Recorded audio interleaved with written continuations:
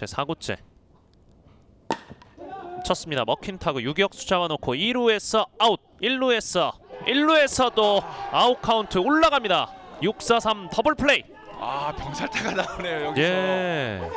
다시 화면이 좀 나가고 있는데 이 목승수 선수의 먹혔던 타구 유격수 그리고 2루수 거쳐서 1루수까지 아, 완벽한 플레이였습니다. 그렇습니다. 물론 뭐 프로 선수처럼 이렇게 아주 깔끔하고 물 흐르듯이 플레이가 이어진 건 아닙니다만은